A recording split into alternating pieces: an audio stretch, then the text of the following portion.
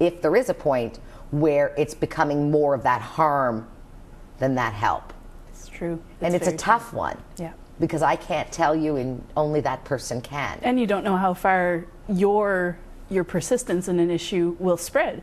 So even if you think you're doing the right thing, you may not have the perspective to look back and say, "Oh, but I've affected you know some members of my community or members of associations and they're taking their time out and things like that."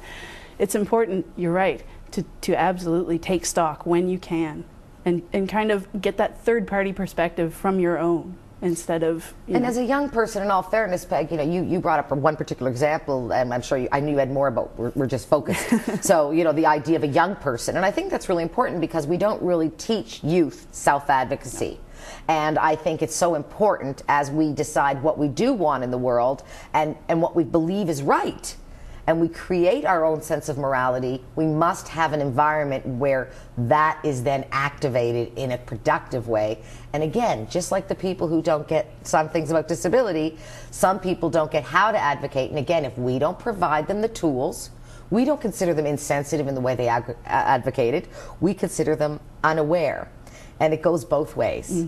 So, awareness about how to be a good self advocate and when to cut your losses if it's becoming such an issue for you that your own health is becoming uh, challenged. You need to be, as I mentioned, in check. But in the same hand, the goal of improving awareness so that the right is heard, in other words, what is reasonable is understood, is the ultimate success in self advocacy.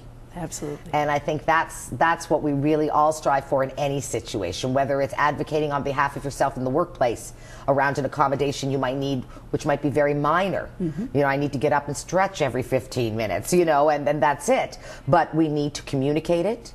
We need to become advocates for it. And I know you're one of those people who gets it and will certainly be a tremendous role model for other young people in advocacy issues.